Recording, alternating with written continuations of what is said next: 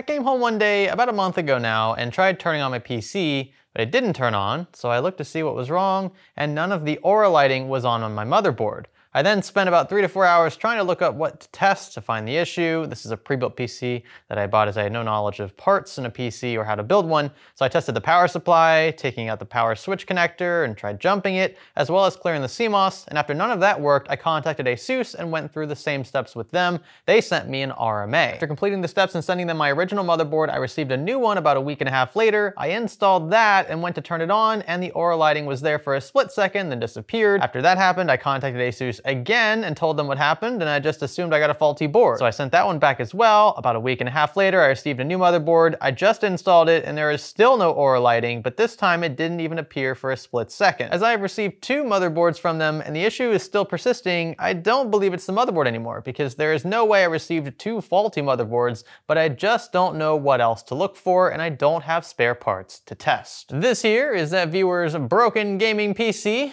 and uh, wow.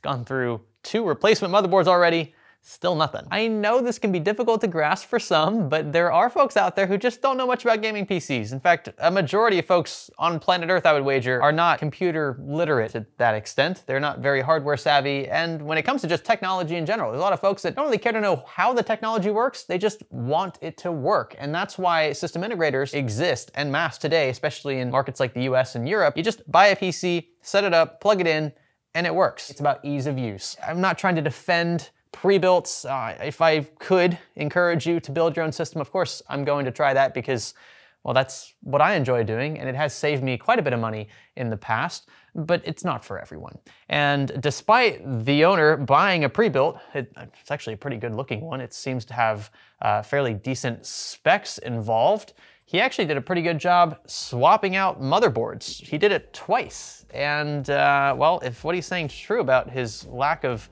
tech know-how, I'd say he did a pretty darn good job. Now the description was admittedly a bit drawn out, but in a nutshell, he's replaced a motherboard twice because he couldn't get his system to post. He was using the Aura LEDs, the lighting baked into the case as kind of his reference point. And at this point, I don't believe it powers on at all. So we've got a completely bricked PC here. And uh, well, hopefully we can fix it in this video. Are you ready? Sounds like the SpongeBob intro. Are you ready, kids? Stay with me. If you're sick of seeing that same Activate Windows watermark over and over, head on over to VIP SCD Key, where they have Windows 10 and 11 Pro OEM keys at a fraction of the price of retail. Just use the secure payment method like PayPal, enter your product key into your PC settings window, and say bye-bye to the watermark. And be sure to use our offer code SKGS for that sweet discount. Hey there, and welcome to Fix or Flop. If you're new to this series, just know that everything us do here is free of charge to the owners of the systems in question. We don't charge for labor or even replacement hardware for that matter. We can usually get uh, components free of charge from companies, and even if we have to dip into our own pockets from time to time, we still end up netting a profit on the back end by uploading videos like these to sites like YouTube. Your viewership, at the end of the day, is why we can continue doing what we're doing here. So thank you so much for clicking on the video and watching. We're gonna jump straight into this one. Uh, again, it is a bit unfortunate that this apparently doesn't power on. Normally I'd have a portable monitor here. We're gonna get a reference point, see if we can match up what we're seeing in person with what the viewer describes. And if it doesn't power on at all, there's no reason to have a monitor here. So we've got power on at the rear. We're gonna try powering on up front.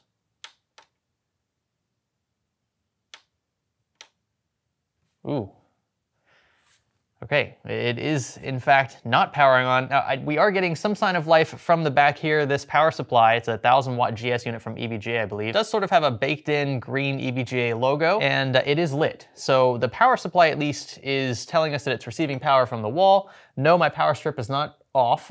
so we know it's not a power issue on our side.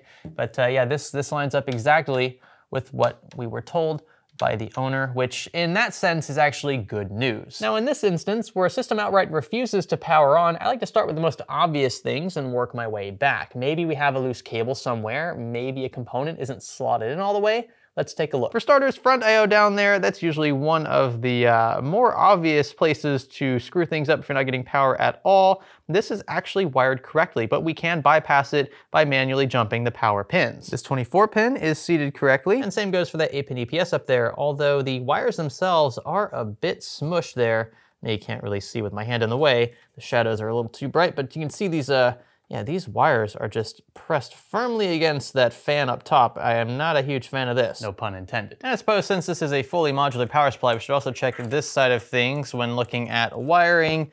Uh, I'm gonna have to pull this unit out to get a better idea. I can't see anything in there. Cables look okay so far on this side. And while it does look like these aren't fully seated, I do think we're still making good contact. The clip is all the way inserted on the back sides of uh, these larger ones here. So uh, we can test one more time off camera, but I don't think that was to blame. That really is quite a shame. Some cases are still designed this way, but you can see there's really no way at all that I can pull this 8-pin EPS cable out with this AIO inserted. And again, it also doesn't help. This AIO is absolutely crushing that 8-pin to the point where it might not be functioning properly. You can see where the cooler's depressed the insulation on these wires here. It's probably still okay, just not good practice long term. It looks like there actually are issues not supplying 5 volts, which, I mean, that could, that could be a big issue long term. And then also ripples are not great. Look at that, almost 150 millivolts on the primary 12 volt, over that, almost 200 millivolts. This, I mean, this is at idle conditions here. Uh, not great at all. Now, is this enough to keep the system from powering on outright? I don't know the answer to that question, but I do know a way to find out. How's about a replacement power supply? This is gonna be a, a, pretty straightforward swap and it'll let us know right away if we have an issue. At this point, normally I would use my like tried and true known working unit. This of course is a a brand new one from Be Quiet. This is a straight power 12,000 watts. It's equivalent in wattage to what he's currently running with the EVGA G5, uh, but this is an 80 plus platinum unit. Again, still fully modular and comes with a really great warranty. You can find this unit linked below if you are interested. My oh my, from this angle, she is looking super purty. We want to thank Be Quiet for being a continued product sponsor of this Fix or Flop playlist. Now, quick word on how these product placements work. I haven't actually talked much about this. Uh, I, I do my best to disclose this as openly as I can every time we are actually paid for a placement like this. Uh, but the timing of it all is really down to what system needs what. In this case, the power supply that was originally in here failed across multiple fronts in our inline PassMark tester. And remember, that tester is not bestowing any crazy wattage load to the unit. These are more or less idle conditions and it's still failing. Those problems could be exacerbated once the system is under a true load. And that's why I don't take any chances. If I see even one fail there, it's getting replaced and that's where this unit comes in. But if the original power supply hadn't exhibited those symptoms, I wouldn't be replacing it with this one.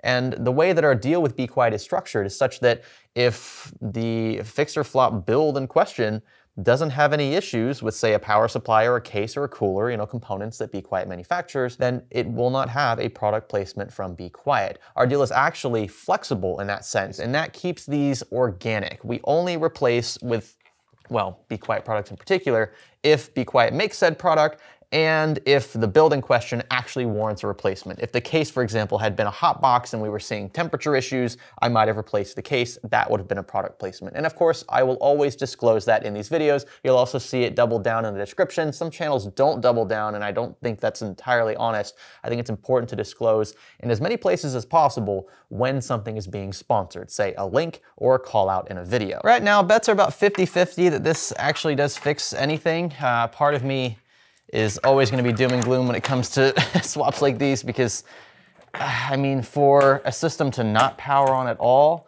I'm thinking it, could be more than, uh, more than meets the eye. Now this is all just a, a bit tight in here. There we go, power supply is finally situated. But like I said earlier, since the previous power supply did not pass in our tester, this was going to be replaced anyway. Let's give this a shot then. The only thing we have changed up to this point is that power supply. I haven't even cleared the CMOS, actually. I probably should have done that earlier, but given it wasn't powering on at all, I wasn't confident clearing the CMOS would do anything, although we'll run through those checks if this doesn't work. So, power on now. what do you know? It was a bad power supply. I followed the hunch and, you know, it actually paid off this time. At least it looks like it. We need to get our portable monitor. Ooh, actually, you know what? Maybe I spoke too soon. In my experience, this Dr. Debug code is never a good sign. Zero D could stand for something like a dead CPU, like a catastrophic failure, a defective socket, a memory issue, memory training issue, even a graphics card issue. I've seen a lot from this one code. Thankfully though, this motherboard has another set of debug LEDs. Right now we're stuck on the amber DRAM LED. You'll also notice this DRAM to the left is not illuminated. We're supposed to see some shiny colors and whatnot, but uh, these look completely dead. Ah, you know what? And it could be because these memory modules are not slotted in all the way. So uh, yeah, I think now they are. This one here off to the left also wasn't slotted in all the way. Yeah, that could definitely prevent your system from posting. And this likely stems from a bit of experience. The owner disclosed this earlier, no harm, no foul. Hopefully, I think these are still gonna work just fine. Most of us have been here at one point or another, right? And you're thinking that you've slotted the DRAM all the way into the slot, when in reality, a side is sticking up maybe. It, it, it's a lot of force that you've gotta apply to each of these DIMMs to get them to fully seat. So I kind of don't blame them for this one. Lessons learned. Yes, yes, I am beating myself up a bit for missing, obviously incorrectly slotted DRAM. I, I don't know how I missed that. I guess I was so focused on the cables stemming from the power supply because we weren't getting any power at all that I overlooked another obvious issue. That said, I do not think that the DRAM being half slotted the way that they were was preventing the system from powering on outright. I think we were dealing with two separate issues here. So even if I had fixed the DRAM to begin with, the system likely still would not have powered on on account of that faulty power supply. So uh, I, I wonder how I would have approached things if I had noticed the DRAM first. Maybe, I, maybe it would have confused me even more. Anyway, the fact is we are here now to the point where I think we can actually connect a screen and possibly get a post. I'm hoping that we don't see that 0D Dr. Debug code anymore. All right, so we've got power on. Looks like across the board the DRAM is lighting up now. That's great. We still have a 0D debug code though. I don't know why that's popping up again. Is it still telling me that memory is it is. It still says that there's an issue with memory. And it wouldn't take this long to train. In fact, if it was training, it would probably cycle through a few different codes. Uh, what is what is happening? By the way, the reason why that AIO is not on currently is because I forgot to plug it in. Oh, that's uh, that's better. But still nothing. We're still stuck on the DRAM LED. Do we need to replace memory as well? Maybe those modules were fried, sitting kind of halfway in like they were. Only one way to find out. Let's try with a single known working stick of DDR4, and we'll power on once again. If this does not work, then I'm afraid we might have an issue with the CPU, since two motherboards have already been replaced and we still had the same symptoms. Uh, I think, again, there was multiple things wrong with this to begin with. The power supply for one, the RAM for two. I'm hoping that the power supply didn't actually kill other things in this rig, which very well could be the case if this doesn't work. So here we go. Now I will say right off the bat, we're getting a series of debug codes, which is great. That's actually a good thing. It means uh, that the board is running checks, and so far so good. Come on. Give me something. Post. Come on, post. Yes. All right.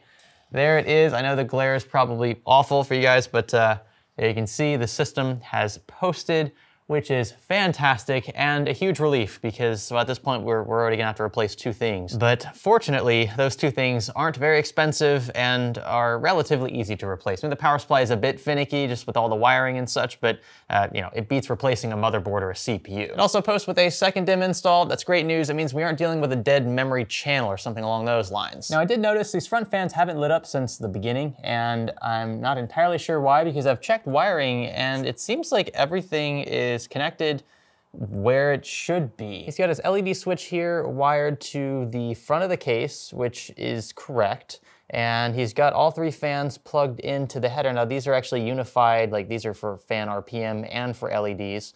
Uh, so a single unified connector for each fan. You can see all three are connected. They're receiving power via this uh, SATA power cable. If I disconnect this, the fans turn off, so I know that that's good.